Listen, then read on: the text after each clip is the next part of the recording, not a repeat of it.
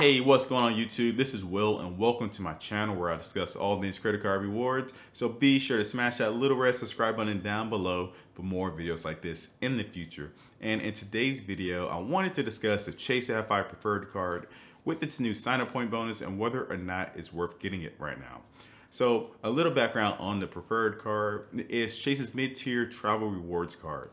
It has a $95 annual fee, and with that, you get 2% or 2x back on all of your travel related spend and dining spend. So travel is very broad when it comes to Chase.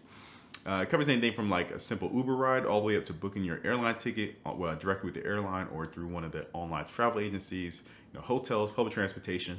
Very broad category for Chase when it comes to travel. Uh, now, with that spend that you accumulate, all the points that you accumulate, well, you do get a 25% boost when you use those points on the Chase travel portal. So that's pretty nice. That essentially turns your uh, 2x back with your travel and dining up to 2.5x when you redeem those points on the Chase travel portal. All right, so those are two main benefits. Then of course you do get access to all of Chase's travel partners. Uh, one good one, of course, is the Hyatt, which has a pretty good return of two cents per point when you use your points to book a hotel with Hyatt once you transfer your points out. Now, it has a new sign-up point bonus. So it's a little bit different. So it's now 60,000 points as opposed to the 50,000 points it was before. The problem is, well, I guess you can call it a problem, is that now your $95 annual fee, which was waived prior, well, now you do have to pay it in your first year. So is that 10,000 points going to make up for that 95,000 or for that $95 annual fee? And the short answer is yes, it is. Uh, just simply, if you take that 10,000 points and redeem it for a statement credit, well, that's $100 in value right there. So you're just breaking even, just doing a you know, quick statement credit with those points that you get in addition to the old sign-up point bonus. And then if you think about it, actually transferring points out or using it for travel, and then of course you get more uh, value out of that. So if you use those 10,000 points and uh, for uh, Chase Travel Portal, again, that's, you know, additional 25% that you get. So that's $125 worth of value. So you're already netting about $30 over the annual fee. Uh, say you were to book or transfer your points out to one of their transfer partners, and of course you get a little bit more value. And like I said before, with Hyatt, you get about two cents per point. So that 10,000 points is actually worth $200. So you net about $100 in value once you take into consideration the annual fee. So the 10,000 points is definitely a boost. Um, like I said, I would definitely look at one, one of the transfer partners to get the most bang for your buck. But at the end of the day, you're at very at the very minimum, you're gonna break even. So now it's still a good time to get the Chase Sapphire Preferred card.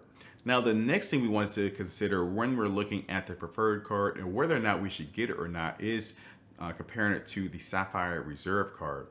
So you can only have one Sapphire card at a time. You can't get both, and you can only get the sign-up bonus for one or the other.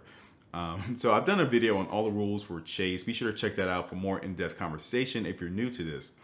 Now, with the new sign-up point bonus for the preferred card, I would say it is the card to get because it is 10,000 more points than the Sapphire Reserve card. However, there are a couple things you want to take into consideration, um, and that is the uh, lounge access that you get with the reserve card, as well as the 50% boost in points that you get as compared to the 25% you get with the preferred card. So I've done a video on the uh, doing a comparison between the preferred card and the reserve card. It goes into a lot of detail. I look at my personal spend. I have a spreadsheet that I use that I also make available to you guys if you want to plug in your numbers to see how it comes down and which one is better. So I do all that. So definitely check that out for more details. But if you're someone that values the lounge access a lot, then reserve card is probably the best, better to get. If you're someone that um, is looking for a lot of flight deals, say you're signed up for Scott's cheap flights and you get daily emails on all these flight deals, then that 50% boost in points that you get when you use your points on Chase Travel Portal can go a long way. You can save a lot more points with that than compared to the preferred card. So that is another reason. So the two reasons, lounge access and that 50% bonus is the reason I would get the reserve card. But otherwise, if you don't not interested in that stuff, go ahead and get the preferred card. But again, watch the other video guys, a lot of details. But that's it guys, that's the preferred card. Um, it's a great card to have in your wallet. I know I'm personally gonna get it uh, sometime in August, September-ish. So I think my my um, the period I have until I can get the new sign-up point bonus is coming up around that time. So definitely gonna take advantage of that. Hopefully they still have that 60,000 point bonus available to me, but we'll see. But yeah, guys, that's it. Let me know down in the comments below which card you think is better and whether or not you're gonna get either one of them. Thanks for watching, guys. Be sure to smash that like button if it helped you out, share with friends, subscribe for more videos like this in the future, and I will catch you guys next time. Peace.